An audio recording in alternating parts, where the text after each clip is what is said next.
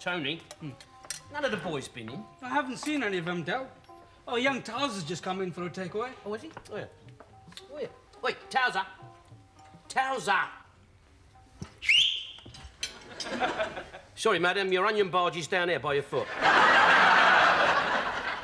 Hello, Del. How's it going? All right, my son, sit down, have a shot of pop with them. Now, listen, I can't get involved. I'm getting the missus a takeaway and I want to get home tonight. Come on, you got time for a drink. Go on, sit down. Oh, cheers. Yes, I'm glad I bumped into you. I want you to do me a favour. What's that? No, sit down, sit down.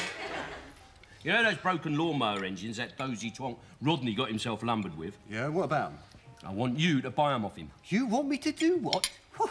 Do me a favour, Del. Alfie Flowers offered me them engines a month ago. I don't want nothing to do with them. It's all right, it's all right. Listen, you don't have to spend any money. I'll give you the money. Yeah, see that? Look. 200 quid. I want you to offer him that. 200? Here. They're only worth about a score of scrap value. I know, but I want him to think he's made a good profit. Look, he's had a bad week. He's been tucked up something chronic by that best mate of his, and now he's brassy. Why don't you just give him the money? Well, does it seem like charity, wouldn't it, eh? Yeah. And he'd be too proud to accept it. No, he'd snap it up like a shot. but I want him to think that he's been successful.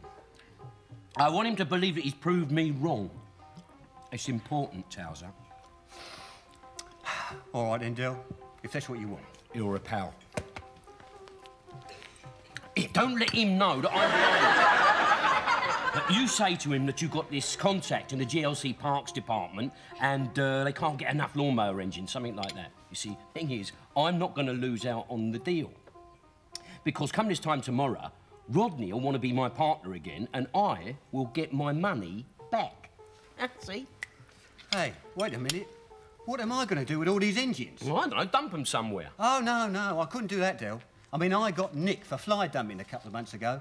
I mean, they're going to chuck a book at me this time. Well, I'll tell you what you do. Take Take 'em back to Alfie Flowers and tell him that he can have have 'em for nothing. Yeah. All right, Del. Here, hang about. Mm. What's in it for me?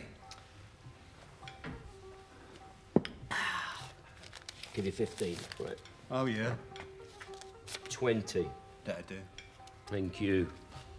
Anything for a mate? I wouldn't pay that bill if I were you. Thank you, Del. Good night.